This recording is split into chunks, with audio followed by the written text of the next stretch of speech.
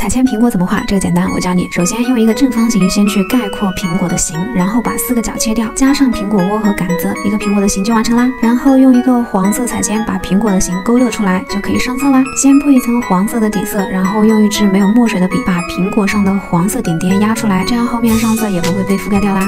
接着铺一层红色，加一些橙色，色彩会更加丰富。亮面用一个饱和度高的红色提亮，记得把高光区域留出来，高光的形状不能太清晰哦，要和周边的果肉颜色过渡均匀。苹果窝用黄棕色画，注意转折处的颜色更深哦。再用深棕色把杆子加上，暗面加上一些绿色，绿色和红色是互补色，所以颜色会更重哦。然后把苹果的反光和投影加上，反光用白色彩铅提亮，投影用棕色打底加一个灰色，靠近果肉的投影颜色要加深，投影要渐变自然哦。最后把果肉颜色整体加重，加上小水珠调一下细节，一个苹果就画好啦。你学会了吗？快点赞收藏，自己试试看吧。